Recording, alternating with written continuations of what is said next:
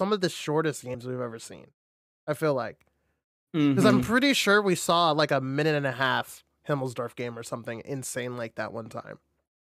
where a when, team just um, went pushing right up the gut and just Yeah, somebody went work out. pushing right up the middle and they lost like two tanks, and then the other enemy team was planning on going hill, but then they just like turn around and just just push through. You know? Flare opting for that light play on. And then Flare didn't Flare just like murk FHS um for their last battle on Himmels when like they played south and they got bled so much too much, and then Flare just pushed it. I think. as well. Yeah, I think that was that round. So and then Flare and then one team for got caught. One team got caught. They're like always they'll be like t- two and a half minute matches. Like I remember one team got caught in like a weird south play camp. You remember that? Where actually Uh-huh. it was some. I think it might have been Burbology that did it. They had like a mouse and E100, and they set them down south, and then the enemy team went to push in, and they they got capped out or something. Or that might have been a minor league team that I saw. No, I'm pretty sure this happened here. Flare had run some heavier defenses before, but in Mhm. these last like two weeks or so, they've been opting for the kind of double one thirteen. It was like a weird. It was like an attack. It was a weird attack where they had like two people on the offside and they just had so much HP like they couldn't kill him. It was weird. But it, like External this is to like this is a K really line. interesting one here. Like a E100 and a mouse both going hill. They had two. Like we should talk about the lineups a little bit. Mhm. Uh, Very heavy. very heavy, right? An for E100, a mouse, two IS4s, a Kranvagn, and a VZ. Now the interesting thing is a Kron. Yeah. So they're using the Kron on the hill. I'm guessing they want to be able to shoot down into some of those areas at C7, 8. It can kind of do it, but also to watch from D0. I'm. But overall, I'm a little bit less understanding of it. But against the lineup they're facing, it's not like the worst thing because they have so many super heavies with them. But.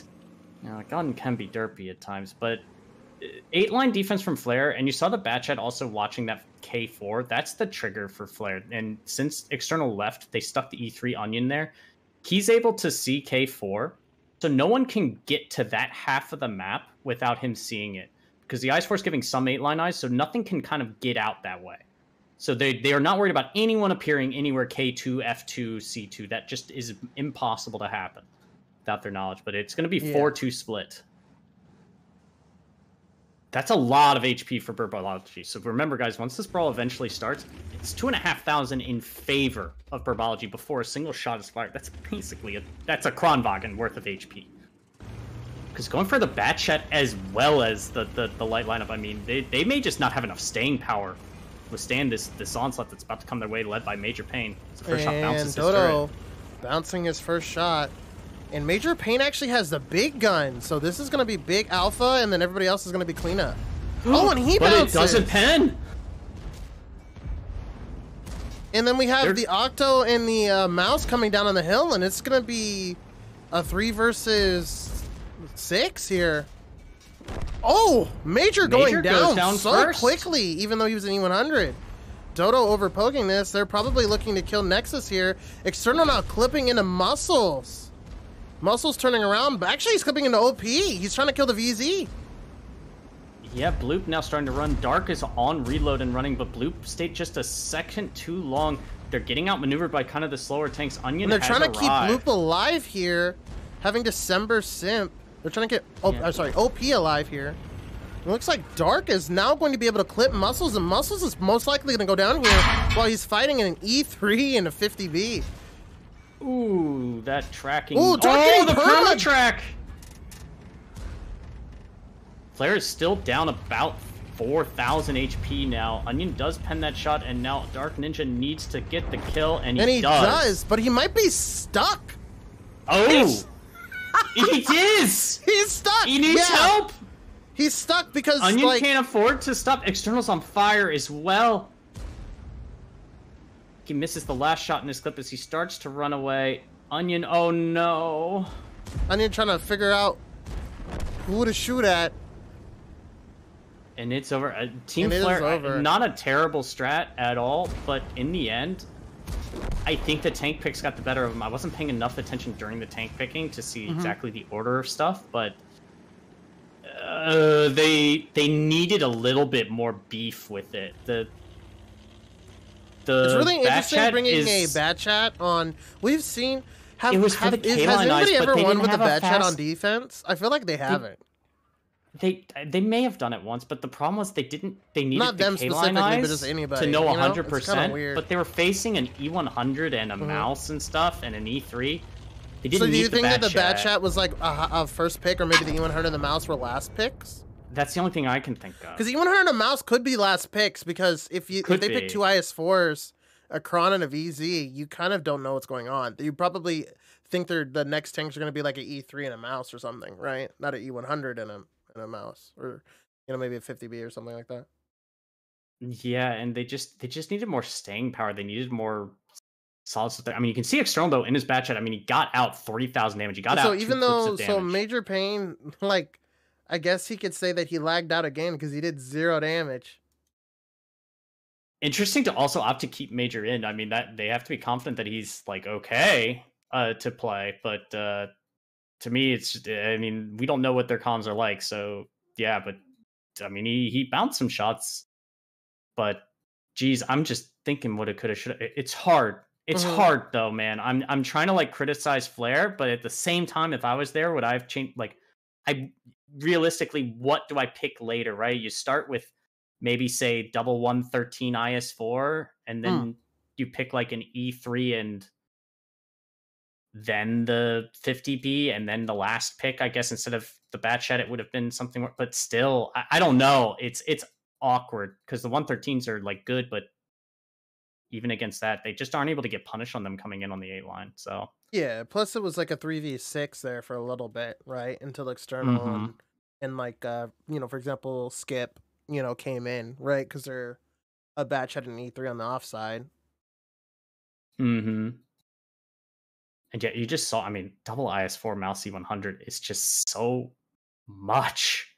Yeah, I think their HP. HP in the beginning it was uh, over 1700. It's 2,500 more. Yeah. It's- I counted. Yeah, it's 2,500 more HP. Or 17,000. It was 17,000 overall. I don't know why Oh, 1700. oh, sorry. yeah, it was 17,000 overall. I think you're right. I think it was like 4 something 4k more. It's Mhm. insane.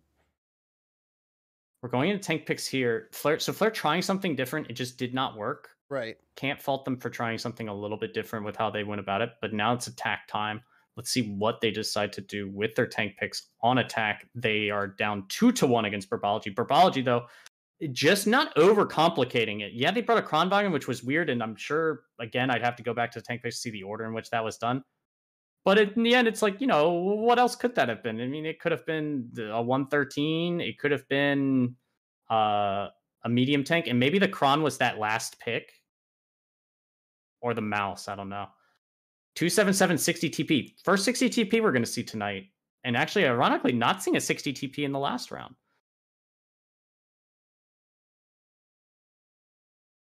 Could say that's all they a- Could have been. And Burbo readies up a menagerie of IS750P, IS4VZ. They can go a lot of different ways with that, but they've already got two autoloaders readied up.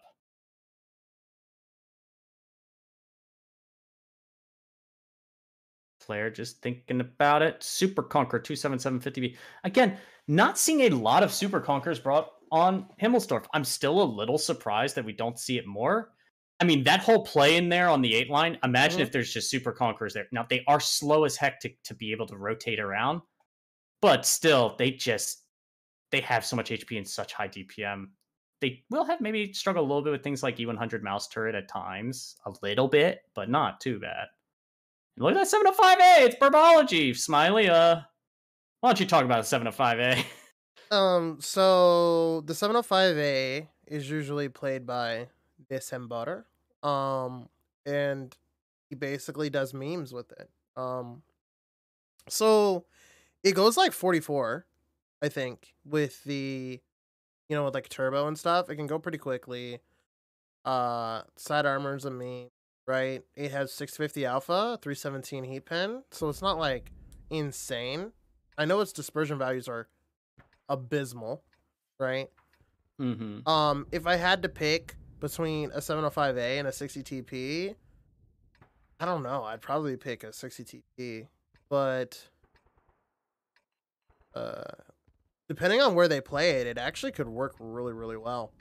Yeah, there's two positions in particular that strike me. It's that E1 F1 position for the 705A or uh, the church at A67 because most teams put an IS4 there, but I feel like a 705A could be okay there, but maybe it's just a little You're talking about like, yeah, A6. Like, I mean, but eh. The gun's so derpy, and it looks like it's going to be two line play for them. And Team Flare going up the hill with everything. Uh, double two seven seven, 50B is pretty light still. Uh, they have some heavies with with Dark Ninja and 60 TP, Bloop and the Super Conk, but it's generally pretty light. And Dodo's actually the one playing the E3. He used to play the E3 for me all the time on this map, and I don't think he had been playing it for Flare. I want to say it was Dark Ninja that had been playing it typically for them on Himmelsdorf. I think so, yeah. But Dark is in a 60 TP. I mean, it could you could switch them up either way. I mean, Dark Mhm. in an E3 and Do- I mean Dodo's probably nutty in They both have so much experience doing Mhm. all of the roles that I'm sure it's seamless. I think I know. I remember Dark saying he hates the E3 though, so that might be a reason. Ooh, look at that! remember You know, we actually didn't look at the HP of the 705A. Ugh, it's 2830, yeah. That's nice. It's It's quite little a bit. It's a little bit less than an IS4. They go about the same speed, and it has 650 alpha. Hmm And Flare only down, what, 700 ish HP compared to Burbology this time? I mean, it's much closer overall. It might be like a. They might. So this might be their strat. Um. You know, from the get go, is to just like push hard south, and then if they don't have that push hard, you know, if there's nothing there, maybe the 705A ends up being like an anchor, at, like in the you know D8 section, and so when the enemy team comes down, I mean, it just claps them, right? Hmm And Burbology's lineup, Oh, here it's they a go. heavy flex lineup because it doesn't scream that it's a two line play, but it really it says that like we could have the IS4 and 705A anchor in positions, but they know they don't have an E3. That's interesting that he chose to side scrape and not just drive across. Because like, what would he have done if they weren't if they were there? fair point because are they going to go back up the hill? Yeah, and there isn't really a good tank to get the resets onto Nexus. Uh, and you can and so see look at the the timing. line. If he would have poked that like, what was that fifteen This seconds doesn't later? look good for Burbology. I'll be completely honest. They're going to it- no, cross this line. The E3 is going to get a shot, and then all these guns are going to open up on them when they come down this way. Dark Ninja's come in really close. He's you see how actually fast poking for the 5A shot. is? Dark, that is, I don't think, a good idea. The way you just engage that, you needed to like maybe get one, but just just hold it for a second and look at this. Everyone's coming back. They're gonna try to get away from the 50B and the VZ's clips, and look, they're pushing each other as they try to just get each other into their teammates' guns. And, and dude, it looks like Burbology is doing a way better job at it. Also, leaving Octo there. Octo can do 650. He's just gonna start doing damage. Maybe looking to pick Nexus here. He is looking to pick Nexus. Kenway's gonna die here in a And he moment, and then the does. Semper for going to Burbology are die, down but he might try to. He's trying to make uh, Octo a hold down. Octo now going to simp for his boys. This is all flare. They they had too much of the opening salvo and too many guns too close. The the tanks at A6 were just too far away and couldn't get the shots up. They were just seconds away. Muscle's now getting his clip out though into blue, but yeah, I think it's just gonna be too little, too late. That though, that bumper car fiesta, that's what you see a lot of times in, in competitive play. And it may not look glamorous, but I, I love seeing stuff like that because it's just all instinctual. Mm-hmm. You have to figure out your momentum, you have to see where people are going, and it's not perfect, but you're just trying to. And Burbo had a good initial with it, but it just they just slipped through, right? And while you're I trying to block that- them, you're also I mean, getting Team Flare easier played it right though. You know what I mean? They did. They I mean, they played did. it so right. The E3 got the crossing shot, I think, and then they just went. They W keyed. and that's the problem with the the lineup that Burbology brought. Uh, it's not a problem overall. It's just you're seeing kind of a little bit here, guys. Why do teams bring an E3 on defense a lot of times? It's like, oh well, hold down here, does this. One of the reasons is so that it can do things like get the resets on that A line pretty easily, or to Mhm. stick an IS4 at the church is just to get those resets easily. And when you don't have that option, Flare puts on the pressure on the A line and they force you to drive into their crossfire that they set. And Smiley post game stats, you, wow. Tell me about the damage you see. So we see that three people got over 3k damage on Team Flare 3300 from Bloop, 3500 from External, and 3400 from Dodo. And then, as you could see, Octo doing 3100 in the 705A and Muscles doing 3200 in the 50B. Now, what is the most surprising thing here is actually the fact that Major Pain, Major Pain and Kenley both did zero damage, which is really weird because it was literally like a four on four brawl. So I don't know Mm-hmm. How Major was the that first to die, I think, and then Kenway was second. I saw Kenway die second, but they still needed to get a shutout. Now maybe they got ammo ranked. Or I thinking um, the only thing I'm thinking is like they both bounced dark, and then just got picked really quickly, and maybe like some bodies were in the way or Oh. something. Possibly. See, I didn't like what Dark did with his, but like I thought he, it was fine at first, but when he took like the third shot, I thought it was a mistake. But he Mhm. also just took the hits on the gun that has the low DPM, high alpha, high HP, and didn't die for it, and didn't become really a pick or an isolation for it, and it allowed just the fact that maybe they didn't get to volley Onion or Nexus down, allow those guns to stay alive that much longer. Yeah, Uh, it was almost like it. It was if they were gonna do that,